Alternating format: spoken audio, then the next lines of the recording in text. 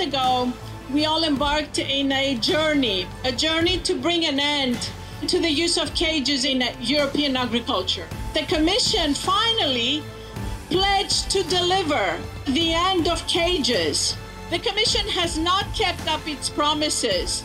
People deserve an EU that upholds European values and protects sentient beings.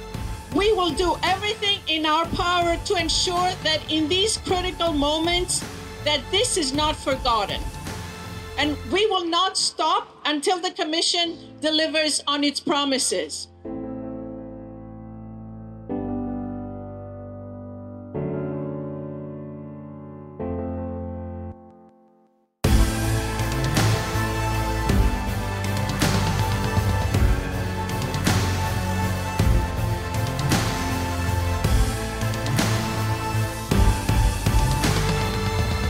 The suffering.